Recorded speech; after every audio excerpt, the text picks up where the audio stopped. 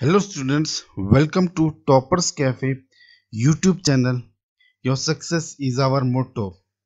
रोजी की तरह आज हम लेकर आए हैं 11th अप्रैल 2019 के टॉप करंट अफेयर्स क्वेश्चंस जो आपके आने वाले government jobs exams SSC UPSC TT में या फिर कोई भी एग्ज़ाम्स जिसमें जनरल अवेयरनेस या करंट अफेयर्स के क्वेश्चन पूछे जाते हैं, उसमें इम्पोर्टेंट होने वाले हैं।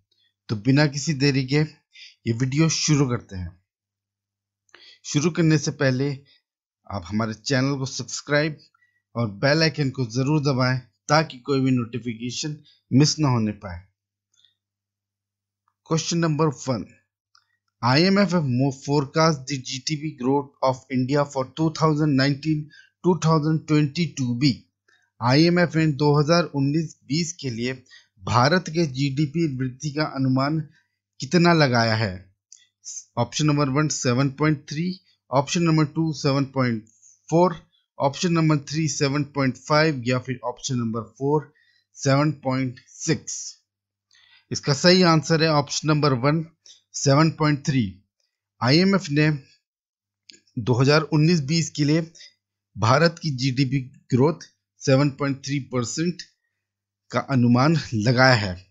2019-20 के लिए तो 7.3 है और 2020-21 के लिए इन्होंने जो जीडीपी ग्रोथ फोरकास्ट की है, वो है 7.5 परसेंट। और बताइए, कुछ ही समय पहले एडीबी और आरबीआई ने भी पिछले हफ़्ते भारत की जो है 2019-20 के लिए जीडीपी ग्रोथ 7.4 से घटाकर 7.2 कर दी थी। और जो आईएमएफ ने है, वो भी 7.4 से घटाकर उन्होंने ये 7.3 करी है। वैसे तो ये जो एडीबी और आरबीआई के अनुमान से ज़्यादा है, पर इनके द्वारा जो फोरकास्ट पिछले साल की गई थी, उससे ये पॉइंट वन परसेंट कम है। अगर हम आईएमएफ की बात करें तो उसका हेडक्वार्टर कहाँ है? वॉशिंगटन डीसी यूनाइटेड स्टेट में। सीईओ इनकी है क्रिस्टीन लगाटे 189 मेंबर्स कंट्रीज़ इसकी मेंबर्स है। और इसकी फाउंडर फाउंडेशन इसकी हुई थी 27 दिसंबर 1945 को। इस तरह की क्वेश्चन आईएमएफ से रिलेटेड पूछे जा सकते हैं। तो ये भी इंपॉर्टेंट है। अब देखते हैं next question question number two Which PSU have received the AIMA Managing India Award 2019 for Outstanding PSU of the Year? किस PSU को वर्ष के उत्कृष्ट PSU के लिए AIMA मैनेजिंग इंडिया अवार्ड 2019 मिला है?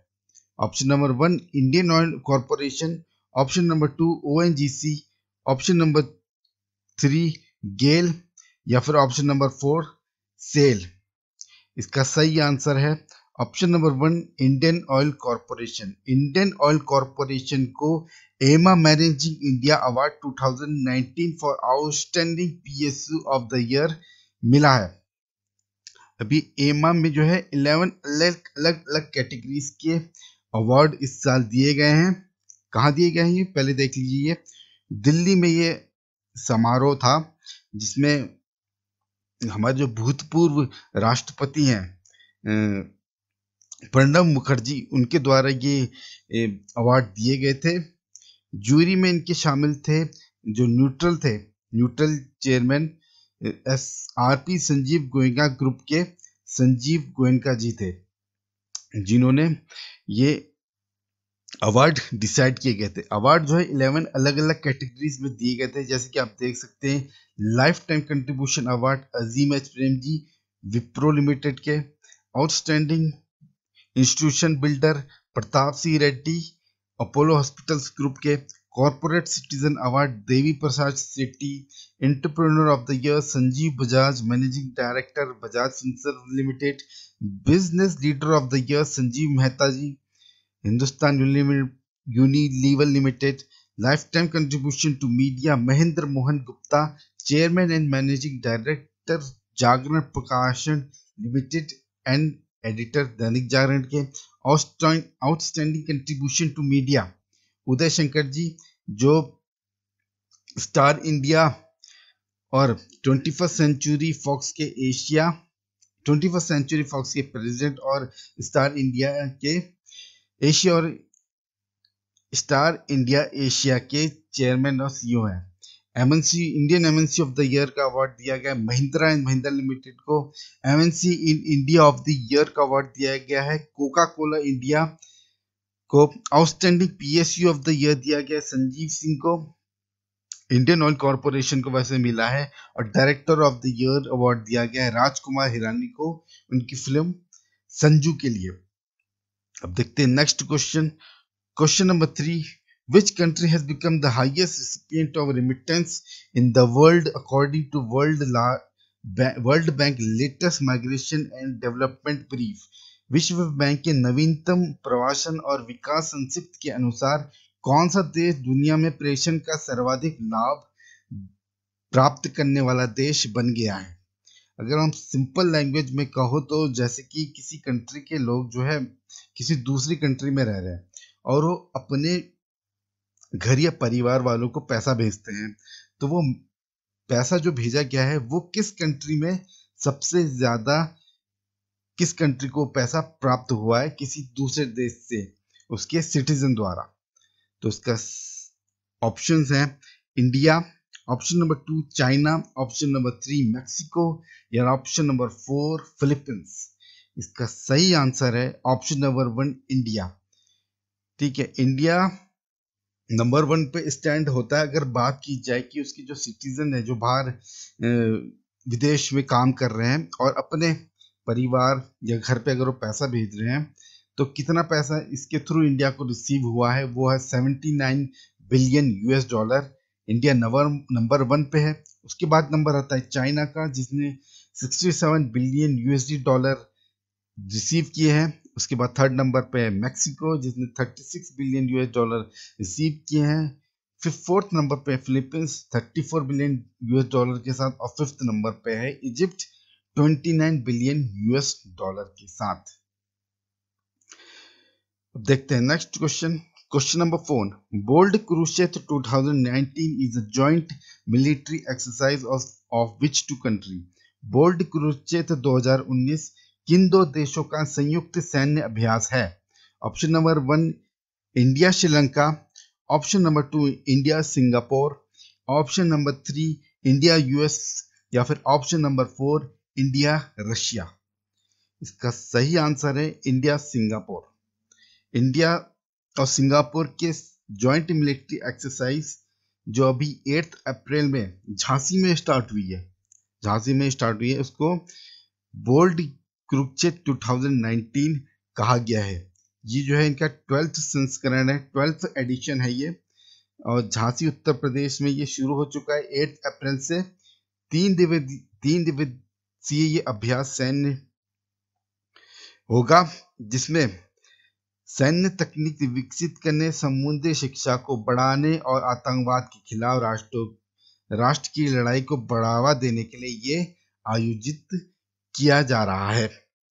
देखते हैं next question question number five which railway station has become the first in India to get an ISO certification for NGT national green tribunal कौन सा रेलवे स्टेशन भारत का पहला रेलवे स्टेशन बन गया है, जिसे नेशनल ग्रीन ट्रिब्यूनल अधिकरण NGT से आईएसओ प्रमाण प्राप्त हुआ है? Option number one Jaipur, option number two Guwahati, option number three New Delhi या फिर ऑप्शन नंबर फोर कोटा। तो कौन सा रेलवे स्टेशन है? वो रेलवे स्टेशन है गुवाहाटी, जिससे एनजीटी की तरफ़ से ग्रीन आइसो सर्टिफिकेशन दिया गया है।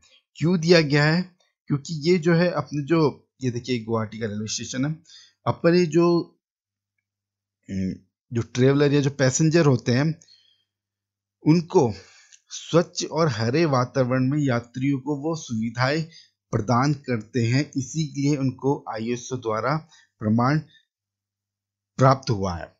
अब ये जो है आईएसओ सर्टिफिकेट बहुत से सर्टिफिकेट होते हैं आईएसओ में। उसी आईएसओ में जो है उनको जो सर्टिफिकेट नंबर दिया गया है, वो है fourteen thousand one fourteen thousand one है सर्टिफिकेट जिससे 2015 में अपग्रेड हम्म, या कुछ चेंजेस उसमें लाए गए थे। इसलिए जो स्टेशन का प्रमाण पत्र जो गुवाहाटी को दिया जाएगा वो I S O fourteen thousand one fifteen होगा। ये भी पूछ ही सकते हैं कि कौन सा I certificate Guwahati railway station को मिला है। अब देखते हैं next question question number six on CRPF Vellore Day, which app was launched by President Ramnath Kovind for families of martyred CRPF troops? CRPF वीरता दिवस पर राष्ट्रपति रामनाथ कोविंद ने शहीद सीआरपीएफ सैनिकों के परिवार के लिए कौन सा ऐप लॉन्च किया है? Option number one Bharat ke Veer. Option number two Veer Parivar app. Option number three Veer Shaheed app या फिर option number four Armaan app तो कौन सा ऐप लॉन्च किया गया था वेलोर डे में? वेलोर डे में जो ऐप लॉन्च किया गया था, वो था वीर परिवार अवार्ड ये अवार्ड ये उन लोगों के लिए है, उन शहीदों के सीआरपीएफ के शहीद परिवार वालों के लिए है, ताकि डायरेक्ट कांटेक्ट डायरेक्ट इनका के बीच, यानी कि जो सीआरपीएफ अधिकारी और शहीद हुए कर्मियों के बीच में इंटरफेरेंस के रूप में काम करेगा, यानी कि वो डायरेक्ट उसके थ्रू कांटेक्ट में रहेंगे। कोई भी अगर अनुदान उनको दिया जाएगा, कोई भी उनको फंड या पैसा या पेंशन की लाभ जो भी है, उनके बारे में अगर कोई जानकारी है, वो डायरेक्ट इस ऐप के थ्रू वो प्राप्त कर सकेंगे। और रियल टाइम में इनको जो भी सुविधा, जो भी सहायता प्रदान की जाएगी इस ऐप के थ्रू वो रियल टाइम वास्तविक समय में प्रदान की जाएगी। कोई भी कोई भी फ़िल्टर या बीच के में कोई नहीं मतलब होगा इसमें, ठीक है? एंड्रॉयड पर आधारित ये ऐप होगा और किसी ऐप स्टोर में नहीं, ये मिलेगा। ये सीधा सीआरपीएफ के जो ऑफिसर्स है, वो परिवार वालों के फ़ोन पर सुरक्षित रूप से इंस्टॉल किया जाएगा। अब देखते हैं next question question number seven what is the name of India first designed and developed artillery gun that that was inducted in India Army recently? भारत का पहला स्वदेशी रूप से डिज़ाइन और विकसित आर्टिलरी गन का नाम क्या है, जिसे हाल ही में भारतीय सेना में शामिल किया गया है? तो उस ऐप का नाम क्या है? नहीं. उस गन का नाम क्या है? उस गन का नाम है क्या Bofors? Option number two Dhanush, option number three M seven seven या फिर option number four light field gun. ये बहुत अभी न्यूज़ में था तो इसका सही आंसर है option number two Dhanush. Dhanush जो है इंडिया का पहला स्वदेशी रूप से डिज़ाइन और विकसित आर्टली गन है। जिसे हाल ही में भारतीय सेना में शामिल किया गया है। अभी इसकी छह पीसेस इंडियन आर्मी में शामिल किए गए हैं।